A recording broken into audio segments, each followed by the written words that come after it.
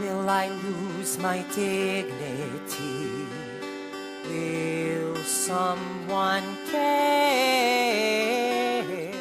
Will I wake tomorrow?